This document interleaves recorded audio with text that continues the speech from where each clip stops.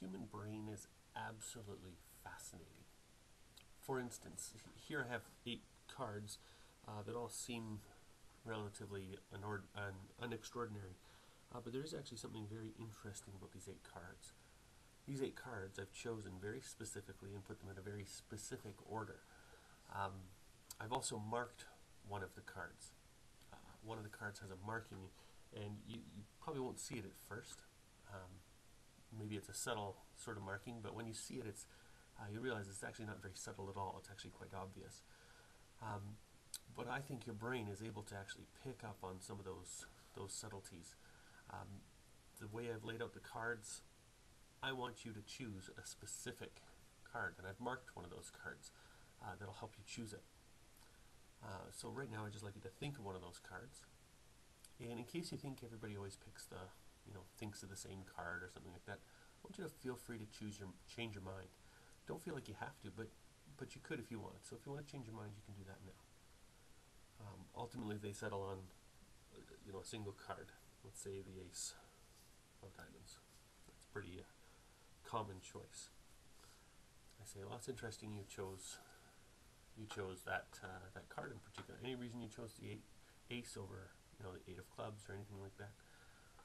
Say no. And I say it's interesting because when you look at the cards, they're uh, obviously, oops, obviously all totally normal.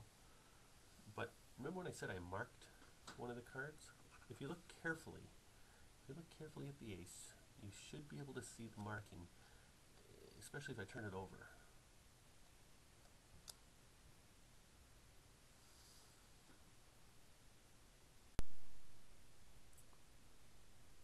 Human brain is absolutely incredible.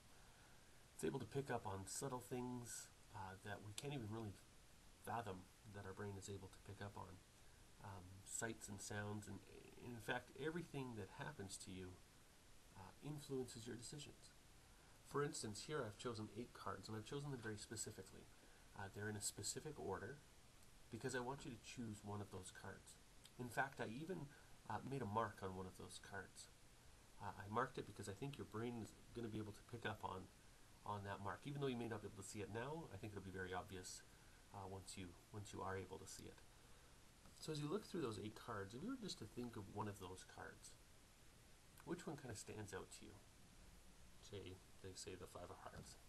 Oh, interesting. Why did you say the five of hearts? Um, you know, any reason that stands out to you over the four of hearts or a different card? Well, you know what? I'm going to give you a chance to change your mind in case you think everybody always picks, you know, the same card. Um, go ahead and cha change your mind if you like. Uh, but don't feel like you have to. Let's say they change their mind to the Ace of Diamonds. Are you sure? You're good with that. Great. Interesting. Why, why did you choose the Ace of Diamonds of all the cards? And they say, whatever reason they say. Um, it's interesting. Remember I said uh, that I marked that card? Uh, this is actually the, the card that I marked. You may not be able to see it right away unless I turn the card over.